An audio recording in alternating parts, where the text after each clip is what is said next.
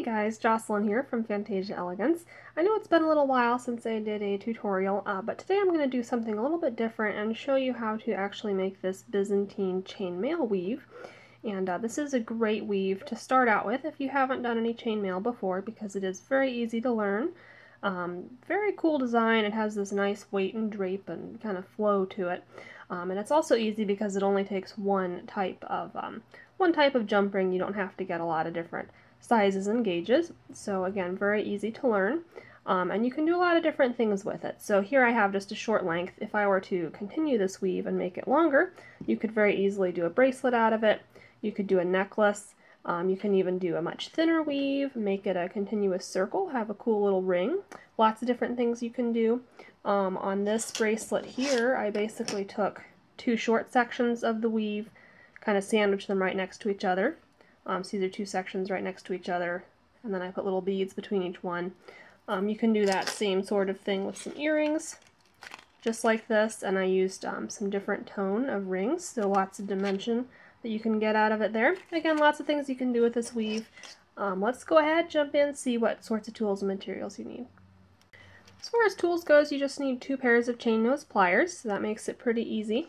And uh, your jump rings that you use are going to depend on how thick um, or how, how wide you want your weave to be. Um, for this one, I actually used 3.5 millimeter inner diameter and 18 gauge uh, jump rings. And I do work with, um, for this piece I use silver filled because it's a little cheaper than sterling. Uh, it does take a lot of rings to make a um, even just a bracelet. And I got my stuff from Rio Grande. Um, you can check them out. They have, you know, sterling silver rings, copper, brass, whatever you want to work with, whatever's within your budget. Um, today I am going to be working with slightly larger rings than this, just so you can see what I'm doing a little bit better. Um, but that will make the weave look a little bit uh, wider open. I do have this handy chart here, if I can pull this on over that I got from uh, chainweavers.com. So I want to give them credit and make sure that um, you can check them out if you want to. Uh, but basically this chart shows you um, the appropriate diameter of jump ring you want to use um, to keep the same, the same openness to your weave as you size it up. Um, so for instance, if you wanted a really thick weave, you would want to get 7 millimeter inner diameter jump rings, and uh, you would want to go with 12 gauge wire. Um, so that kind of helps give you an idea. And I will put a link to the actual um, online image in the description section below so that you can see the higher def version of this. But this kind of helps you know, um, as you size it up or down, what size and diameter jump rings you should be using. So like I said, I am going to be somewhat ignoring that chart and using um, just wider jump rings so that you can see what I'm doing a little better. So here's what I will be using, uh, 5mm 18 gauge jump rings. So to start out, I'm just going to pour some of these out so I have access to a little pile. I'm going to put them off camera so that they don't mess up the uh, focus. And we're going to start out by getting two jump rings nicely closed flush. So I'm just going to use my two chain nose pliers I'm going to twist this guy back and forth a few times just to get him nice and closed so you can't see the uh, so you can't see the gap in him anymore. And we'll do that same thing with another one. There we go. And now I'm going to open one up. And we're going to pop these two guys right on there. So basically we're going to make a chain of three doubles looped through each other. So there I've got one going through two rings. Let me open up another ring here. And for this guy, I'm going to put him through the same two that this guy's going through. Just like that.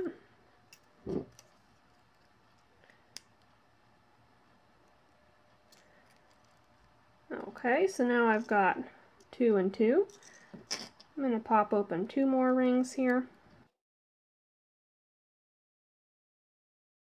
And I'm going to put him through the two on the end.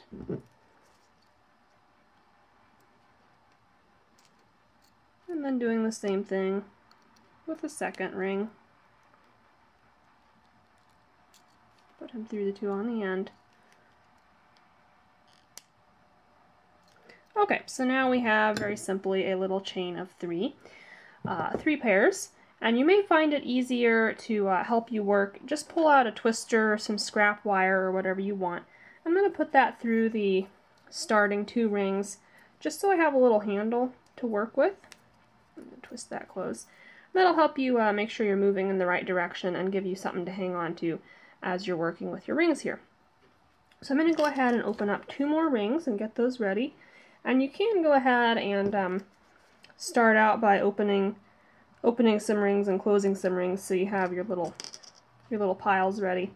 Um, you need about three or four open ones to every closed one you make. There we go. Now the trick with this weave, every time you have a set of three, uh, three pairs like this, you're going to take the last set and you're basically going to flip them open backwards. Okay, so I'm just flipping them backwards like that. And then where we're going to place our new rings is right under these two. Okay, so let me show you what I mean. So I've got my new ring. I'm going to go under these two. And I'm going to catch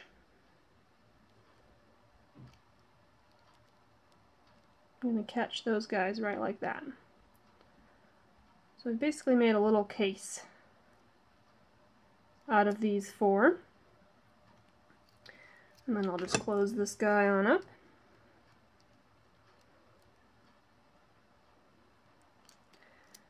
And we're going to do the same thing with our second one because we always work in pairs with this weave. So I'm going to put this guy through the same place I just put that other one right next to him. Just like that. And close him on up. So now we have our first first little set of nesting rings there. So to continue this, what I'm going to do, you can kind of speed this up by um, linking onto some closed rings instead of just opening and adding on each time. And I'll show you what I mean by that. So go ahead and get two closed rings ready. And then I'll grab two open rings.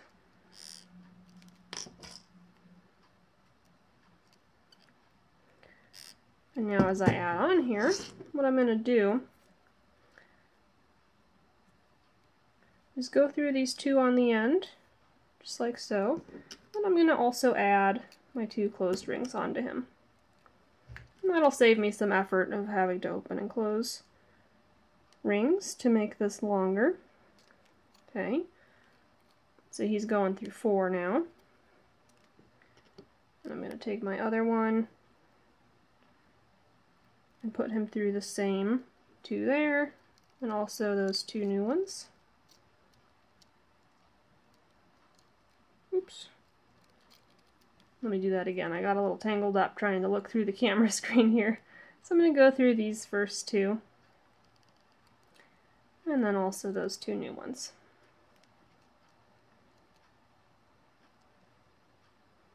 And close him on up.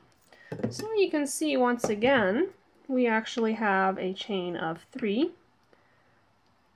Three sets of two, three pairs right there. There's one, two, and three at the end that I'm holding on to. So we're going to once again do the same thing, where you take your final pair, I'm going to open those two up, and flip them backwards, just like that, and then you're going to open these up and put your new ring right through there. So let's go ahead, grab two more open ones. Okay, so let me just show you that once again. We have our chain of three pairs so you know it's time to flip these next two back.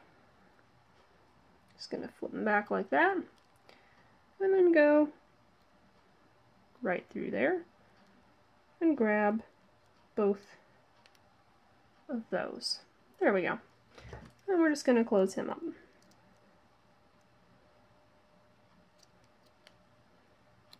Just like so. Same thing, we always want to work in pairs, so I'm going to add another ring on there.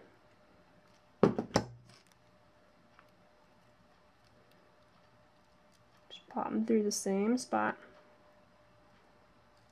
And close him on up.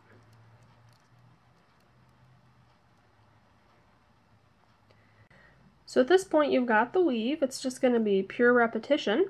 Um, we're going to keep adding until we have a little chain of three pairs, flipping that final pair open and sliding the open rings through it. So I'm going to do a few more repetitions um, in a little bit faster motion just so you can kind of get the, uh, the flow of repeating this pattern.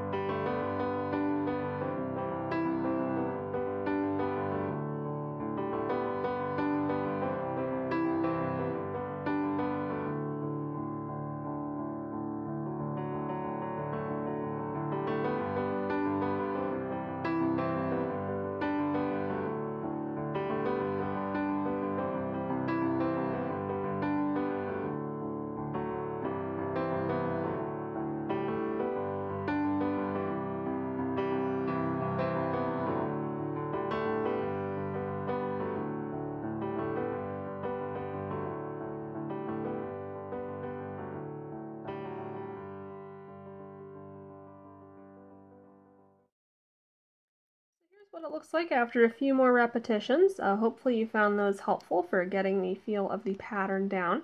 And again, this is what the pattern looks like um, if you use the wider uh, jump rings without increasing the gauge. So it does look quite a bit more open um, than, say, this would, where you use the same 18 gauge jump rings, but they're a little bit smaller.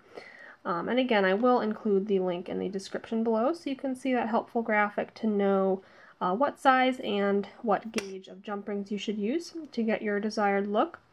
Uh, I do hope you found this tutorial helpful. If you're curious to see how you would um, you know, finish this into a bracelet or necklace, I do have a tutorial on making a wire wrapped clasp, which you can find at my, um, at my channel. And uh, please do also check out my Facebook page and Etsy shop. Sales from there do help me keep making these uh, free instructional videos for you, um, and the links for those are both in the description section right below. You might need to click the Show More button to expand the text box, but it will be there. Uh, feel free to comment if you had any trouble making this, any questions, and also let me know if you might like to see more chainmail tutorials in the future. Thanks so much for watching and happy crafting!